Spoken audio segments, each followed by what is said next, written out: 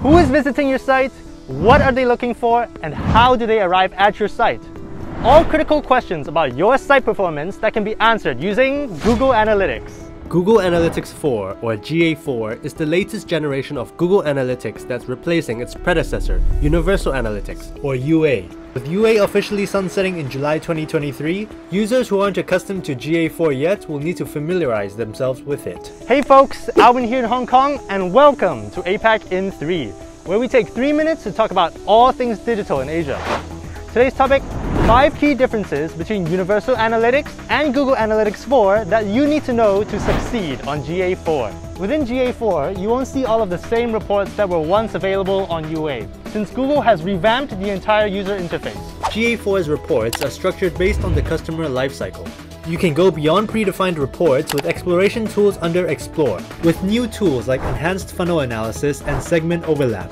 The biggest fundamental difference between UA and GA4 is their respective measurement models. UA uses a session-based data model, which supports only predefined types of user interactions like page views, events, or e-commerce transactions. By contrast, GA4 works on an event-based data model, where every user activity is captured as an event which can be attached with parameters to describe its context.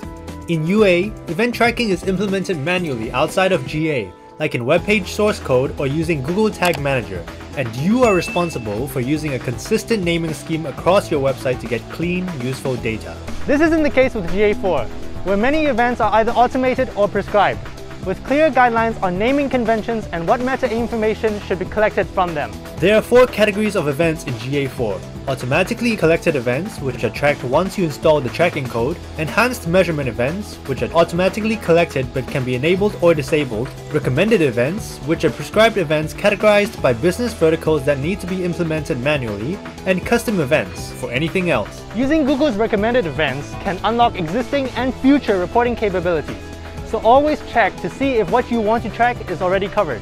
GA4's reporting provides a new set of metrics that tracks users' engagement more accurately than the bounce rate and average session duration metrics used in UA. Bounce rate doesn't take into account how long users stayed on a page before navigating away, while session duration is calculated even if your site is open on a background tab. Instead, GA4 measures user engagement only when a web page is in focus on the browser. Because of that, the new metrics are better at helping you identify your most engaging content.